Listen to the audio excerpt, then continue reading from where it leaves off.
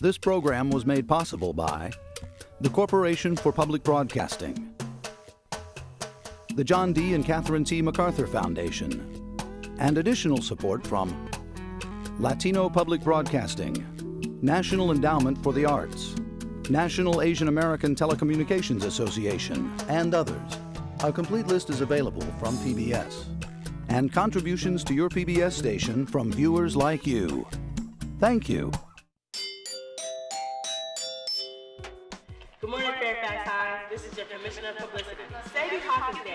March 17th in the Big Gym from 8 to 12. Tickets are only $10 per person. $18 per couple. Yeah! Come get your square dance, sashay, and money hot boogie on all night long. See you there. What's up, Fairfax?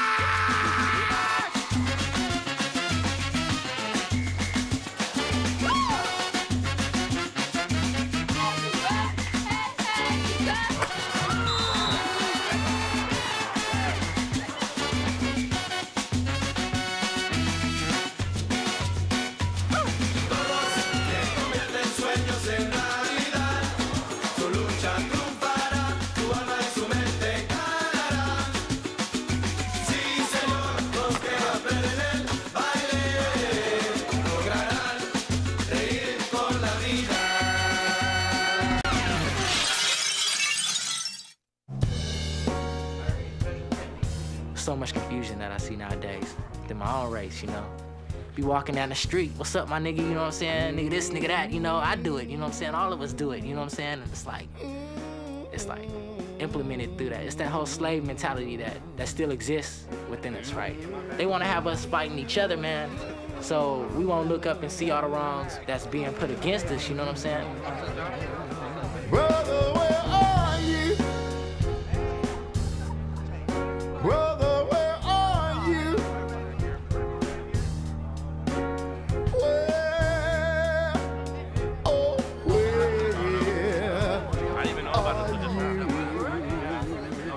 first came to this group and the idea of putting this assembly together was first proposed, a lot of us didn't think we could pull it off. It was like black folks didn't have any faith in themselves. And my thoughts about that was, you don't think we could pull it off? It's our duty to pull it off. You know what I'm saying? The reality of it is, if your people are dying, then so are you. If your people are starving, then so are you. Yeah, you might stack a few Benjamins in your pockets from slanging a rock or two, but at the same time, you're contributing to making yourself an endangered species. So when you disrespect a sister, you might as well be putting down your own mother.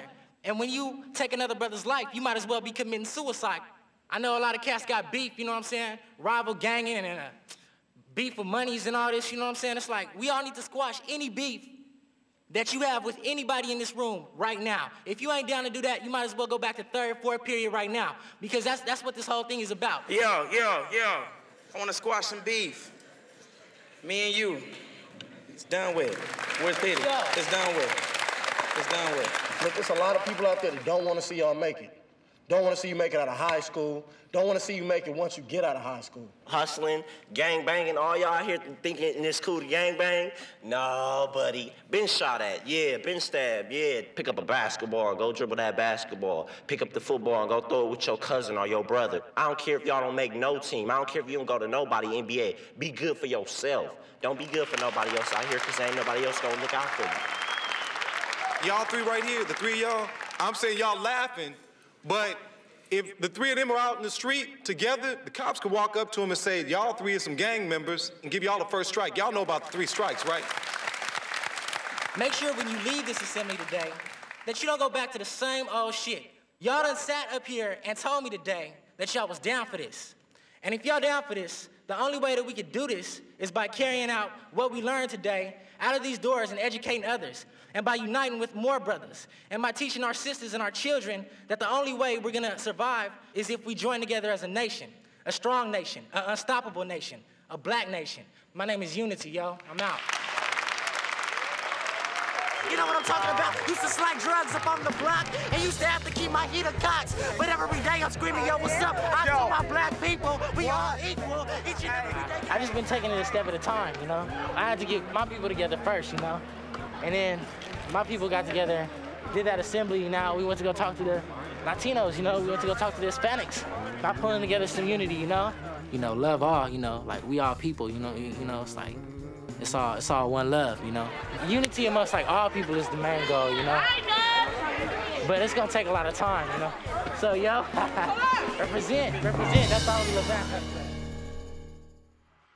His Royal Highness was not here today. He had an essay due, and he did not come to school. And he'll give me an earful about why his paper wasn't here. Or else he'll show up at 3 o'clock. What time did you do? What, did you get up like 11 o'clock this morning? To write four pages of material? No, I don't think so. I did this all weekend. Thank you very much. He doesn't Whatever. go out with me.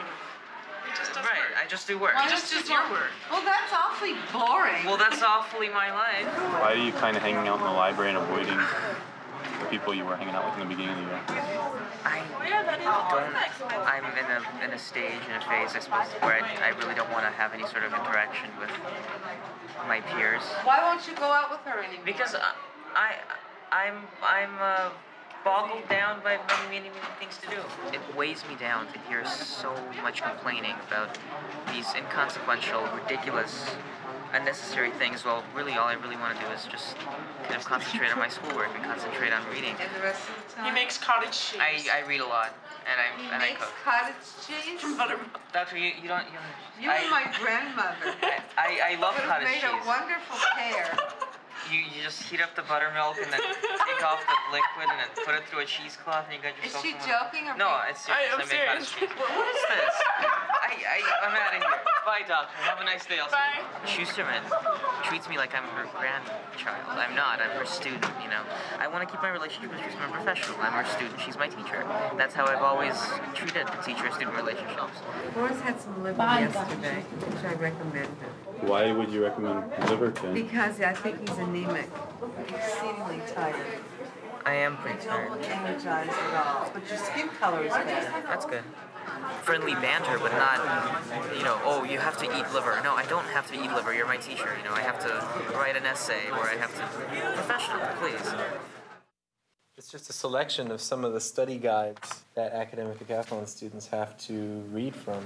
Like the name connotes, is 10 events, academic events that they compete in with other students. It's the most intense activity that students do in high schools, whether it be athletics or academics or any other outside of school activity. The pupils need to have higher than a 2.0 GPA by the 10 week report card, or else no one's on the team and some of you need to be concerned about that.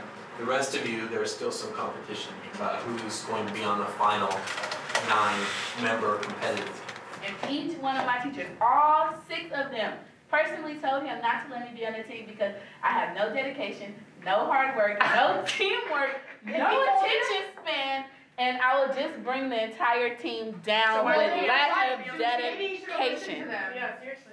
That's funny. Maybe Oh, you should have listened to I them because that. that's what I'm seeing so far from you. You're always No, I listening. Yeah, that's kind of Honestly, that's what I'm seeing. Damn, that was He's harsh. honest. Oh my god. That was harsh. He doesn't even want to be here. Why doesn't No, she quit? I, I, I'm telling you right now, she's not the brightest kid. She's not, perhaps, quite what we would call academic material. Her pottery is inspired by that found in the blank. Uh, frijoles canyon. Okay, good. During which centuries and in what location did the Mimbres culture flourish? 10th and 11th centuries. Uh-huh. 10th and 11th uh, century and New Mexico. Boris, he's just like smart, you know, and like Rena's smart, and everyone else is smart on the team, and I'm just like, I feel like a do- doi hoi or something, you know. Like, I feel like I'm not into one specific thing. That's why I feel like kind of stupid in there, you know. Describe a time in your life when you were the recipient of good luck. I got lucky when I lost everything that was of value to me, and I didn't. I mean, because I didn't realize how much things were until I actually lost everything.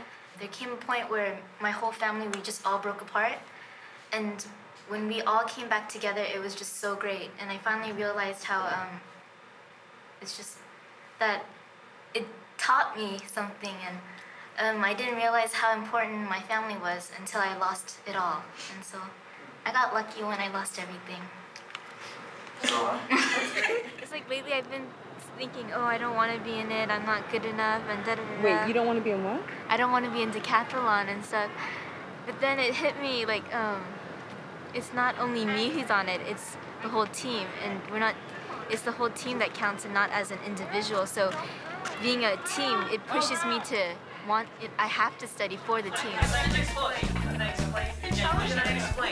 He was influenced by the works of Cubists, but he never created a Cubist piece. As a matter of fact, he said that Cubism hasn't reached the ultimate goal of abstraction, so he cannot be associated with Cubism because he was against Cubism. Because Cubism didn't reach the ultimate goal of abstraction. I compare myself to them, and I'm not on their level. Today, I started like with a like not a bad mood, but like kind of down. You know, it's not like a, it's a pessimistic um, view. You know, when I start started, and I thought, okay, well, you know, to decathlon, I'm gonna probably most likely be kicked out. You know, because the people I'm competing against. So then Mr. Sugden comes in. It's like, come in and see me after class, and he's like, this is good news.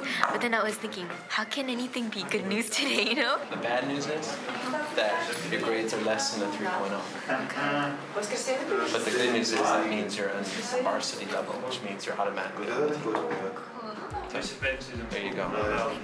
Yay! I was just thinking about it last night. So happy. Oh, oh my gosh. Nobody should be on this first step. Nobody should be on the first step. Step down. There you go. Like this one just a little bit. Looking right here on two. Ready? One, two. Okay, don't move. They gotta get your names. Hello, my name's Elizabeth O, and I'm on the varsity Fairfax Academic Decathlon team.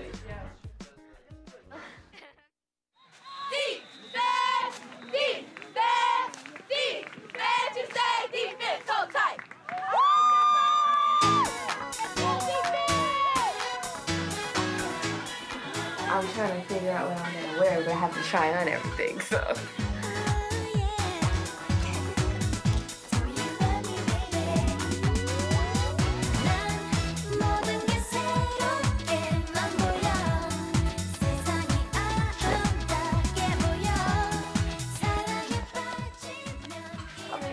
Lot of people don't, that don't like the way that I dress, or think that I just be killing it with the way I, that I dress and stuff. But that's okay. As long as I like it, it's cool. Oh, oh yeah, it's this little job thing that I want to do. It's like being a host of a radio show. It's called Teen Line. Plus, when I get to college, I'm like majoring in communication.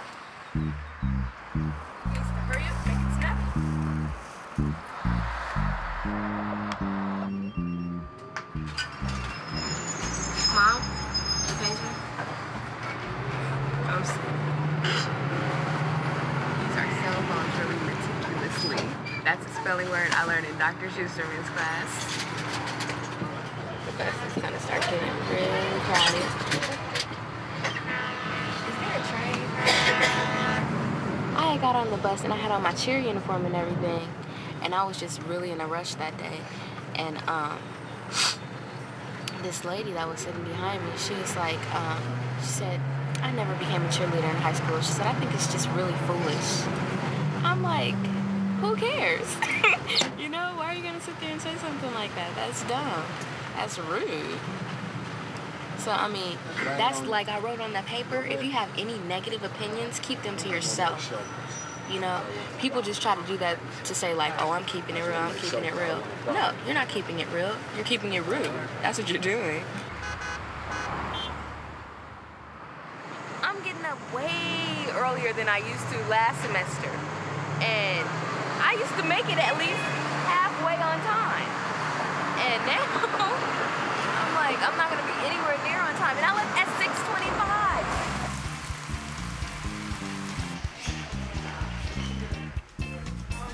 When she was at my house at 545, she can tell you that. I was up early. And we it's left all her fault. early. No, it's not her fault. Oh, it's okay. a train came. A train came. Choo choo.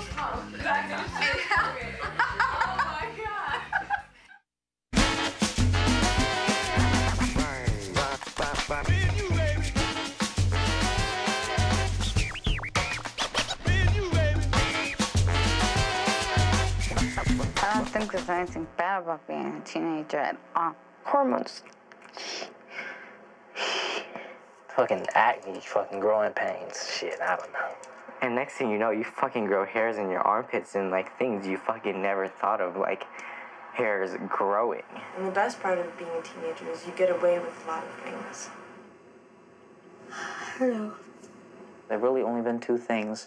I've been a child and a teenager, and uh, in between the two, I'd rather be a child. The curfew sucks. Everybody still gets to tell you what to do and what not to do. You can't do the things adults do, but you're expected to act like one. Being a teenager is just the worst sometimes, but it's the best because you you find out who you are. You're young and you fit, you know. That's cool. You know, I, I love being a teenager, man.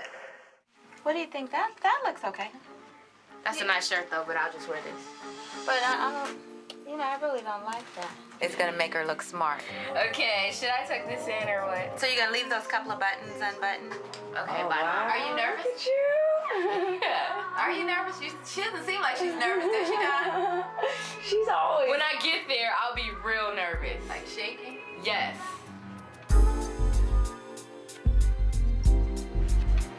Do you guys know how many there were? I think it was over a hundred, and then all together they called back 25. I jumped up and down. I was jumping really high. I was like, yes. And I told my mom, she was like, Lovey, that is so good. And what we're gonna do to start is Mark is gonna just take a digital photo of you guys so we have it for the record. And again, what we're looking for is we're looking for personality, we're looking for honesty. What we're doing is we're casting for a show. So whatever exhibits your own personality, make that a part of this uh, broadcast. Hi, my name is Danielle Strickland.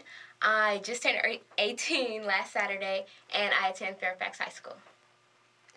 I'm Rebecca Janal. I'm 17 and I go to Harvard Westlake High School in North Hollywood. It'll be your own responsibility, as if you were doing a live show, to fight for airtime. Feel free to jump in. If you've ever listened to um, any of the talk radio shows that are on, or if you've ever watched Politically Incorrect, it's kind of like that. You just feel free to jump in with your own comments. Ish, you all set? Should high should high schools, pardon me, be handing out condoms to students? We need to like teachers need to like let us make our own decisions but be supportive of us. Many teenagers are having sex. Whether or not we want to condone it by handing out condoms in high schools, I think if high school students are going to be having sex, then they should take the initiative to go out and buy these things that they need for themselves. That's a real good point. However, I do believe we should definitely have guest speakers come and speak on the subject of sex. So do you think that they should be not given out in schools? I, I don't believe they should be. No. But I think that you should speak on the subject of sex. Uh-huh. Well, I think that you know, okay, I think it's good for people to, for the teachers or nurses to hand out condoms at school because some students, you know, they're gonna they're gonna do what they want to do. They're gonna just they have their own. Everybody thinks differently, and everybody's gonna do different things. And you know, some people are are not responsible. But you know, if you have it right there at school, some people are gonna be like, oh, well, let me stop by the nurse's office and get a couple of these. But you know, I think that it is good to have them at school Maybe because have them available. Maybe Avail- not like exactly. pass them out, but Yeah, like just have, have them them available. I personally go around to two different high schools. I just started this and tell my whole story of being a birth mother. Um, I'm not sure if you were at the last audition, but I placed my daughter for adoption. Guys, that is it. Round of applause for all of you. Thank you. Yeah, it's over. I was hoping that it wasn't gonna be over then, but it was. Cause I was hoping that they would ask more questions so I could get over the nervousness and stuff. But I don't know. I guess it was like a good experience for me, so uh, at least I know what I have to do when I actually. To me, I think I know when people want me to come back and when they don't. And right now, I feel like they don't. No, I did really, really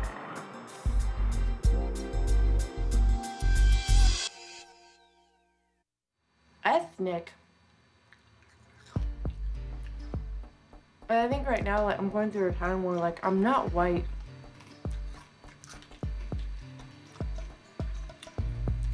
Like, I'm not white at all.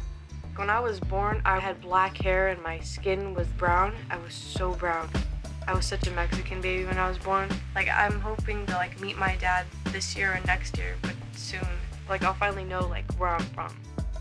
Like what part of Mexico I'm from. want you to come up with as many stereotypes or descriptions or first things that came to your mind when you saw me or when you heard I was who I was. I I'm taking Latin studies. Hopefully this class will help me trace my roots a little.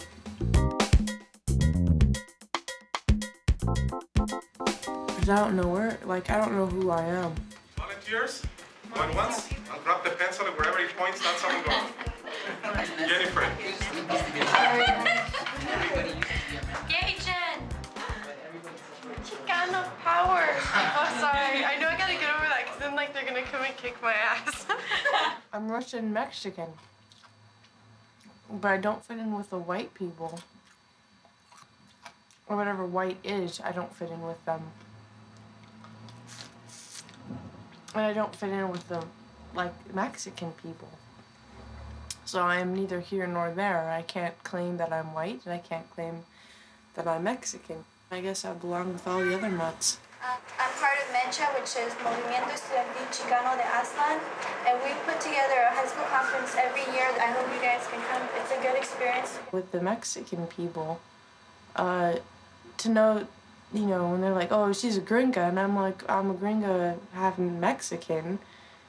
And once they know I'm half Mexican, they're all like, oh, come on in.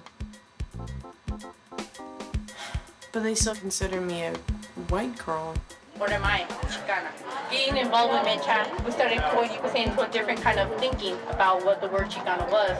We're not trying to sit here and tell you what to call yourself or what label to put on yourself, Chicano, Hispanic, Latino. What we want you to do is know what these words mean and why we choose to call ourselves Chicanos. You have to remember both sides of where you're from.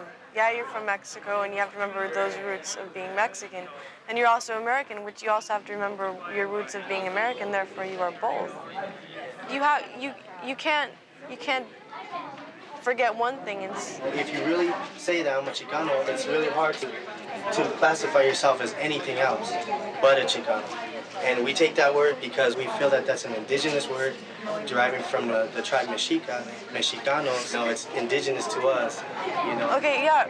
Okay, yeah, just work with me. Um, but what? But again, like if, when you're calling yourself a Chicano, then what do you do, like with your Puerto Rican side or your? There's Puerto Ricans, there's El Salvadorians, there's Guatemalans, there's people from Central and South America and Cubans, and you know, and they consider themselves Chicanos. Deep down, I can't say you know, the Spaniards came and killed my people. Like I can't say that, because. Well, I could say that, but it's hard. It's hard for me to say that. And I can't say as like a Russian, a Russian European, I guess. I can't say, you know, whatever happened in Russia, you know, I can't feel that because I'm neither here nor there. I'm just here. I'm Jennifer. This is Dr. Bogue from the Dean's Office. I have a very important announcement. The Sadie Hawkins Day Dance for tonight has been canceled. We did not get enough interest to sell enough tickets. Thank you. What up? We about to get it down. Society looks at blacks and Hispanics the same way, you know. We all get treated the same way. You know, that's why that's why we had to have this meeting with the blacks so we could get ourselves together, you know what I'm saying, first. And it's like, but as a whole, man, all of us, all of us so-called minorities need to unite, man. How do y'all feel about that? You know what I'm saying? Same way. Same way. It's true that we could we could do this right here. That but not all the Hispanics are the same. Not all the blacks are the same. You know, there's always some people that, that are ignorant that are ignorant and they won't listen to you. Yeah, there's gonna be some hard-headed cats that might not want to hear that, you know. But it's like if we could get it to where us in this room could take this consciousness and spread it, you know, to as many to as many people as we can, you know. I I think you guys are doing the right thing. You know, I'm very proud of you guys. You know, I feel touched. You know, and of course you have questions. You know, no, it's not gonna happen. Once in a while, it's okay to have a doubt. You know, that may not work, but you know, you have to try it. My name is Unity, and it's like I might not know your name, but when you see me, you know me, you know, because I came here today and I spoke to y'all. We all brothers, you know. Do what?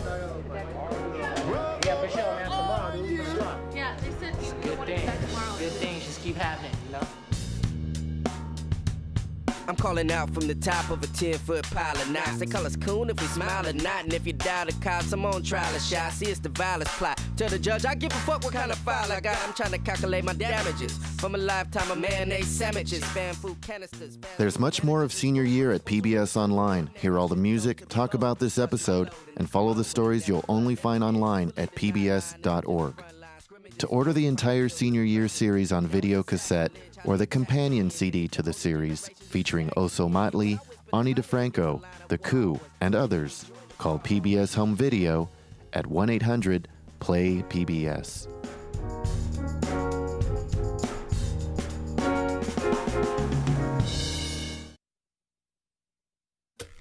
This program was made possible by the Corporation for Public Broadcasting, the John D. and Catherine T. MacArthur Foundation, and additional support from Latino Public Broadcasting, National Endowment for the Arts, National Asian American Telecommunications Association, and others. A complete list is available from PBS. And contributions to your PBS station from viewers like you. Thank you.